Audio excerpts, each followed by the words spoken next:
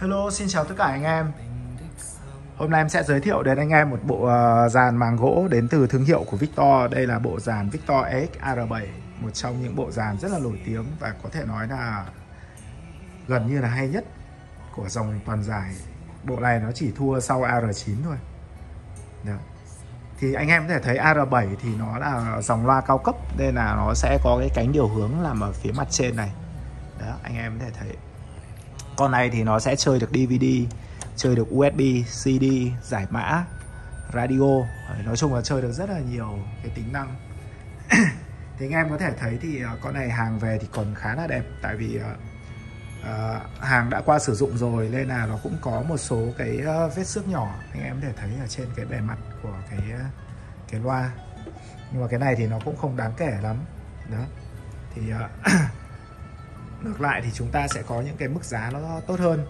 Con này em sẽ giảm giá còn 10 triệu rưỡi nha anh em 10 triệu rưỡi. Tất cả tính năng thì tất cả đều à, sử dụng tốt hết. Anh em mà muốn mua kèm theo à, chân chân thì có hai loại một cái chân là do bên em làm. Nó cũng giống như chân zin. Nó cũng uh, tương tự chân zin.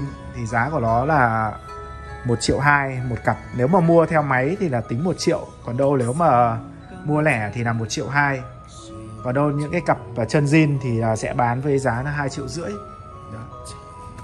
Chất âm của những cái dòng màng gỗ này thì chắc là cũng khỏi phải uh, cũng khỏi phải nói nhiều. Tại vì nếu mà anh em chơi ở phòng ngủ những cái bộ toàn giải như này anh em chơi ở phòng ngủ rồi là những cái phòng khách nhỏ mà sử dụng để nghe những cái nhạc mà nó mang cái âm hưởng nó chi tiết nó giàu cảm xúc thì anh em có thể dùng những cái bộ màng gỗ này rất là tốt đây là em khuyến cáo là anh em chơi ở những cái phòng không gian nó vừa phải, nó nhỏ thì chất âm của của những cái bộ màng gỗ này nó rất là đầy đủ, chứ không không có nói đến những cái phòng nó rộng rãi cái này kia thì chúng ta phải sử dụng những cái ờ, dòng loa lớn hơn. Tại vì cái loa bát của nó có 8 cm à, anh em có thể thấy. Chất âm của nó rất là tốt.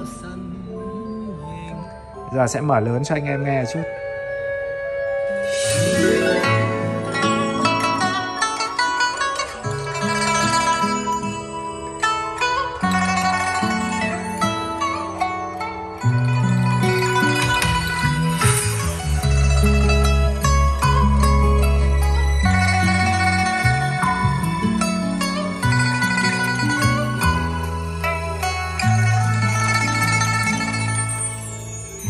今夕雪中梅，浓月隨晚風動。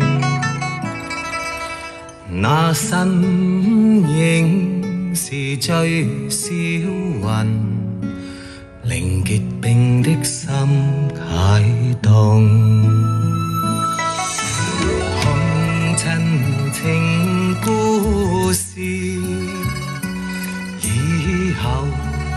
我为你写淡浓，